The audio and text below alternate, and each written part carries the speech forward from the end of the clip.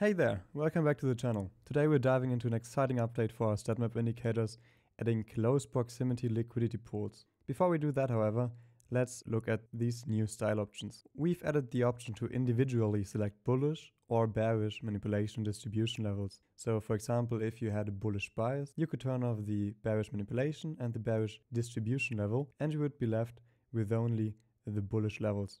This also allows you to customize each level individually, so you could make the bullish levels green and the bearish levels red. This setting does not only affect the visual appearance, but it also allows you to further customize the alerts. If you, for example, only want alerts for the bullish levels, you could, for example, turn off the bearish levels. And if you set up the alerts now, it will only trigger the alerts for the bullish levels. Now let's get to the exciting part, adding close proximity liquidity pools. Using this setting, you can turn on both liquidity and already rated levels. And as you can see, liquidity pools get drawn out if they are within this plus minus percent range. This says it's within a 20% range. You could turn it down to 10% and this will only look at levels if they are within that 10% range. You can also look at custom timeframes. So if you, for example, only want to look at hourly levels, you can turn on the one hour and as you can see, it will only mark hourly swing highs and swing lows. As you can see, price traded down and as soon as price takes out this level, it changes the line style option to whatever you have put into that weight setting.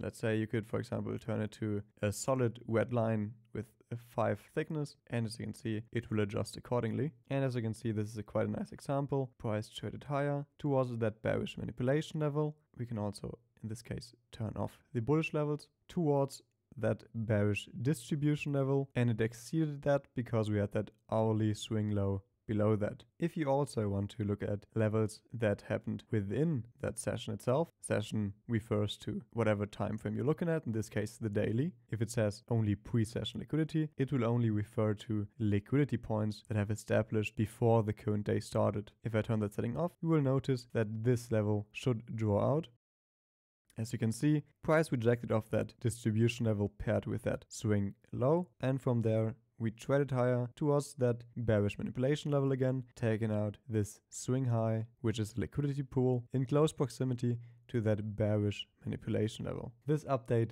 doesn't only come out for the OHRC stat map, but also for the session stat map. As you can see, I added that session stat map to my chart and we have the same style options. And scrolling down, you can see we also added that liquidity pool. So now, for example, if I turn on liquidity here, also add the custom time frame, and this time make that weighted level, for example, in blue, you will see while we are trading within that session, these liquidity pools are plotted accordingly. There's also a small update for the statistical volatility indicator. You can now add a custom time zone. That's important because, for example, if you're looking at the American indices, you would always like to use the American time zone because America has the most influence on these markets. If you, for example, look at the DAX, you can change the settings to Europe. If you, for example, would like to trade the yen, you can also consider looking at Japan time zone you can also consider looking at Japan time zone because as you can see down there, these levels slightly change according to what time frame, what time zone you're using.